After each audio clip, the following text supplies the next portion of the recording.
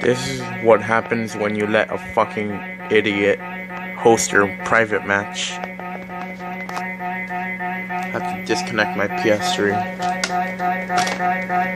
The fuck? Fuck, I disconnected it? What the fuck? What the fuck? The hell's wrong? What the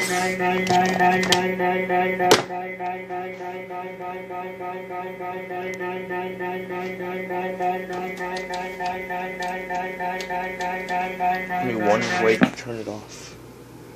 Oh.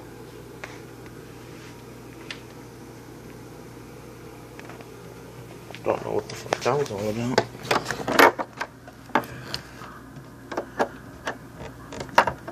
I was just playing Infected on Dome and this shit happened. Better stop playing. Take a break.